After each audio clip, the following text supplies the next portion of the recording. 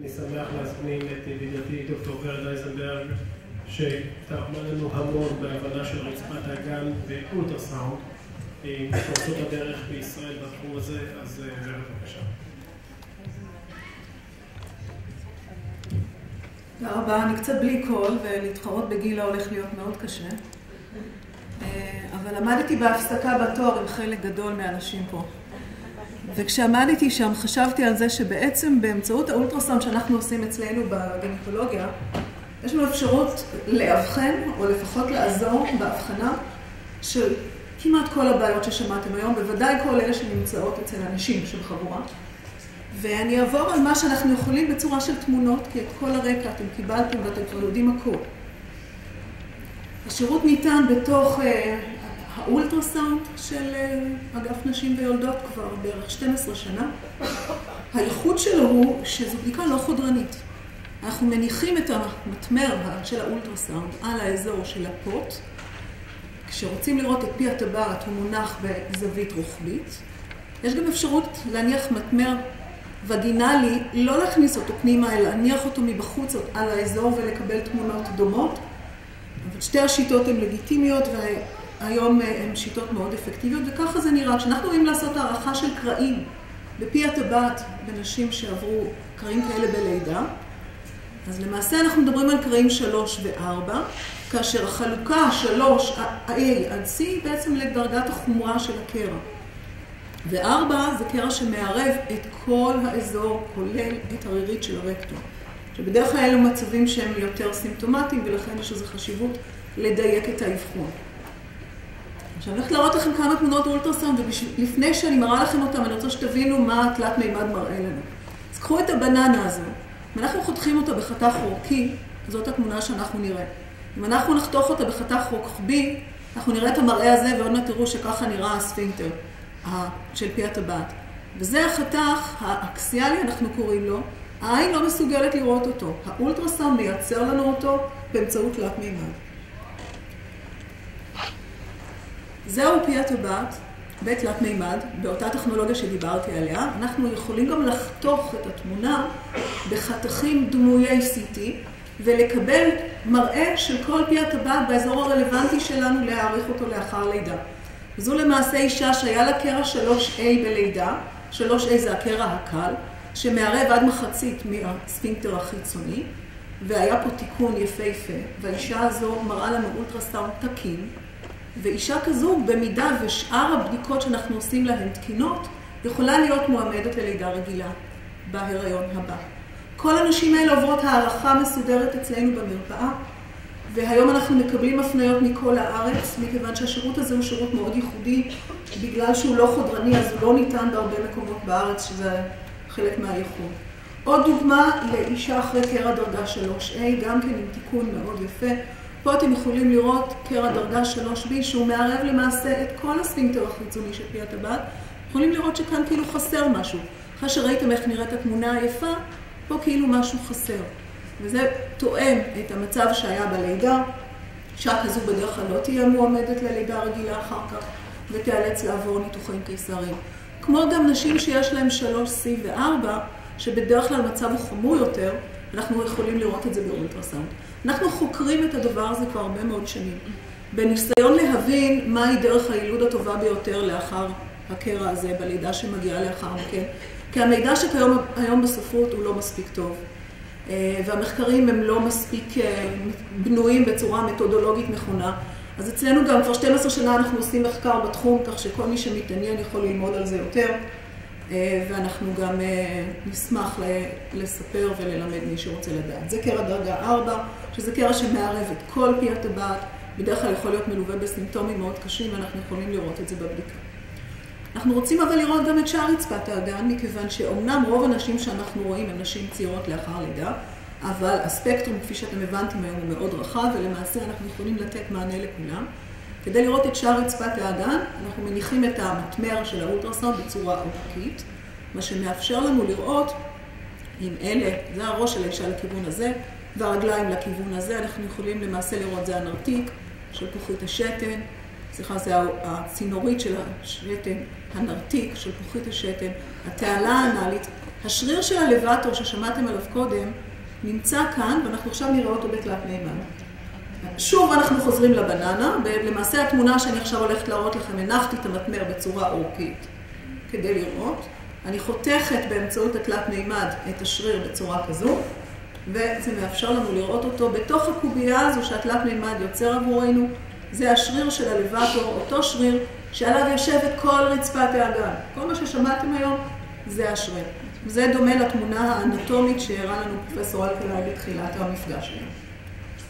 גם פה אנחנו יכולים לחתוך את זה כמו ניסיתי.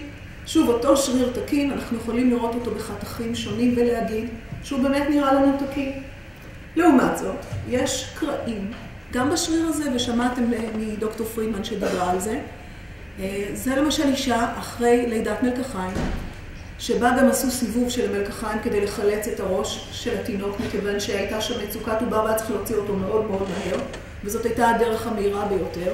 אתם יכולים לראות שמשני הצדדים השריר הזה קרוע. מה המשמעות של הקרעים האלה? כבר שמעתם. המפתח, אותה, אותו בקע הולך וגדל, מכיוון שהשריר הזה כבר בעצם לא נאחז שם יותר.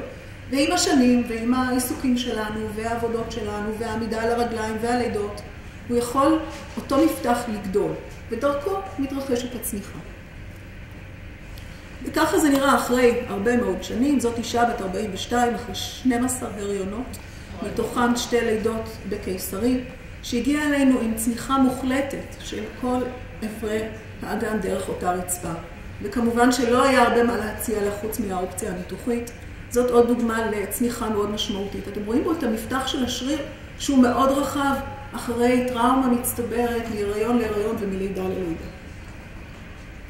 יש לנו אפשרות לעשות הערכה באמצעות האולטרסנט של אותה צניחה, כאשר נקודת הייחוס שלנו היא העצם הקדמית, עצם האצה, שכולם יכולים להרגיש אותה. זה הצינורית של השתן, ופה אנחנו רואים צמיחה של שלפוחית השתן מעבר לקו הזה שאנחנו מגדירים אותו קו הייחוס. כשזה מה שבעצם רואים כלפי חוץ כשבודקים את האישה בבדיקה גינקולוגית רגילה. פה אפשר לראות שגם הרחם וצוואר הרחם צומחים, ויש פה גם צמיחה של הרקטום. אני מזכירה לכם, זו בדיקה לא חודרנית, המטמר יושב כאן בחוץ. אוקיי? Okay? יש לנו אפשרות באמצעות האולטרסאונד להעריך סוגים שונים של צמיחות, של שלפוחית השתן, וסוגים שונים של דליפות שתן. למשל, אצל האישה הזו, אנחנו רואים צניחה מאוד משמעותית של שלפוחית השתן, כאשר כל הצינורית עשתה סיבוב. אבל יחד עם הסיבוב הזה, פה נוצר איזשהו תהליך שחוסם את המוצא של השתן החוצה. נשים כאלה בדרך כלל סובלות מקושי בהתרוקנות. ולדעת את זה באמצעות תמונת אולטרסאונד פשוטה, עוזר לנו אחר כך בהכוונה של הטיפול לטיפולים השונים ששמעתם עליהם. לעומת זאת, אצל האישה הזו, יש לנו צריכה של שלפוחית, שהיא בדרך כלל קצת פחות, אבל הרבה פעמים יחד איתה, יש גם צמיחה של הצינורית שמנקזת את השלפוחית האורטרה, עם פתיחה בצורת משפך של אותו אזור שאמור לחסום את המוצא של השתן. נשים כאלה בדרך כלל סובלות מדליפת שתן במאמץ. אז זה מחזיר אותנו לסוגי הדליפה שדיברנו עליהם היום. כך שהאולטרסאונד בהחלט עוזר לנו לאבחן בין הסוגים השונים האלה. וככה זה נראה לא באולטרסאונד, אחרי שראיתם את זה באולטרסאונד, יכולים להבדיל בין שני המצבים.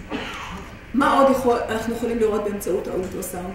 אה, שמענו פה על הערכה של הפרעות גם ביציאה וגם בעיות של חוסר שליטה. יש אפשרות באמצעות אותה בדיקה לעשות איזשהו screening ראשוני של נשים שסובלות מבעיות או בדפקציה או ביציאה, או של אה, אה, רקטוצלה שאתם שמעתם, או מה שנקרא intussusception או התפשלות, שזה כשהמעי עובר דרך התעלה האנלית. גם את זה אנחנו יכולים לראות באולטרסאונד, ואז אם רואים את זה, צריך להפנות את האישה לדפקוגרפיה, שזו בדיקה שנעשית במסגרת הגסטרואנטרולוגיה עם כל, כל מה ששמעתם היום. כך שהאולטרסאונד גם בתחום הזה יכול לשמש עבורנו כאיזשהו גורם סיני. בנוסף, יש נשים שמתלוננות על מגוון בעיות שאנחנו לא תמיד יודעים להבין מה קורה שם, וגם זה אולטרסאונד מסייע כמו ציסטות נרתיקיות, שאנחנו יכולים לראות אותן. שאני מזכירה לכולכם, זה לא חודרני, זה במיוחד חשוב כאן. אם אני אנסה להכניס כאן מטמר לנרתיק, סביר להניח שאני אדחק את הציסטה הצידה ואני לא אראה אותה. וברגע שאני שמה את המטמר מבחוץ ולא יוצרת לחץ חיצוני על הציסט, אני יכולה לראות אותה טוב. וזה מאפשר לנו גם לעשות הערכה של מה שנקרא דיברטיקולום, סעיף של השופכן. איך זה עוזר לנו? שוב, המטמר מבחוץ, לא לוחצים, זה השופחן פה. ואם אנחנו רואים שלכיס הזה, יש פה שני סוגים כאלה, לכיס הזה מתחבר צוואר לשופחן, אז אנחנו יכולים לדעת שיש שם סעיף, כי זה מנקז החוצה. בדרך כלל התלונות פה יהיו תלונות כמו של אה, דלקת בדרכי השתן, אי נוחות מקומית, לפעמים הפרשה, ציסטות שבאות, מתמלאות ומתרוקנות, אנחנו יכולים לראות את זה באולטרסאונד. יש לנו אפשרות לעשות הערכה גם של ניתוחים לרצפת האגן על כל הסוגים שלהם, החל מניתוחים שנעשים מדופן הבטן, שמעתם על ניתוחים לפורוסקופים או רובוטים, סאקרופולפופקסי, זה עוד שתי שקופיות קדימה, וכל הספקטרום של גם ניתוחים שנעשים דרך הנאותית, והניתוחים שנעשים להרמה של השופחן על מנת למנוע דליפת שתן במאמץ, יש לנו פה כמה דוגמאות של ניתוחים כאלה בתלת מימד, ואנחנו יכולים לראות את זה באמצעות כל החתכים שדיברתי עליהם, למקם את הסרט הזה בצורה מאוד מדויקת. וזה במיוחד עוזר לנו במצבים של, קודם כל להגיד שהסרט אכן יושב במקום, או במצבים שבהם יש תלונות לאחר הניתוח ואנחנו רוצים להבין מה הסיבה, כמו למשל אצל האישה הזו, שהיו אה, תלונות של אי נוחות ודלקות חוזרות בדרכי השתן, ובאולטרסאונד ראו שה... אה, זה הלך פנימה לתוך השופחן, אז היה צריך לחתוך את זה. מה שיפה שגם כשחותכים, אחרי שחותכים את הסרט, הוא עובר כל כך יפה השתלבות בתוך הרקמה, שהאישה נשארת בעלת יכולת לשלוט. ובעצם פתרנו את הקושי. זה נשים אחרי sacrocolpopexy, זה שזה הסרט שמחבר לדופן האחורית של, של הסאקרום, שזה האגן הגרמי התחתון. אז אם לסכם, אה, האולטרסאונד מאפשר לנו בשיטה לא חודרנית לתת מענה אה, מבחינת הבירור לכל מגוון הבעיות ששמעתם עליו היום. בחלק מהדברים הוא משמש כעזר נוסף לבדיקות נוספות, בחלק מהדברים אנחנו משתמשים בו ככלי יחיד. דבר נוסף שהוא עוזר לנו ואנחנו משתמשים בזה, הרי מול, מולנו יש מסך. אנחנו יכולים להראות לאישה על המסך מה קורה כשהיא לוחצת ומה קורה כשהיא מרפה או מכווצת. זה כלי שיכול בהחלט אחר כך, כשהיא הולכת לפיזיותרפיה, ואת כל הנשים אני מפנה לפיזיותרפיה, הן זוכרות את תמונת האולטרסאונד, ואז הן מבינות מתי הן עושות את זה נכון ומתי לא. אז זה עוד סוג של ביו-פידבק ויזואלי, כדי לראות שהן עובדות נכון עם רצפת האגן. אה, לאחרונה פרסמנו דוקטור רחל כפרי ואני, שרחל יושבת פה, על למה לכל אישה אחרי לידה צריך להציע פיזיותרפיה של רצפת האגן. אני שולחת כל אישה לפיזיותרפיה, מכיוון שאני בהחלט מאמינה שלרוב הגדול של אנשים זה עוזר, אז בהחלט... אה, זהו, ובזה תודה רבה.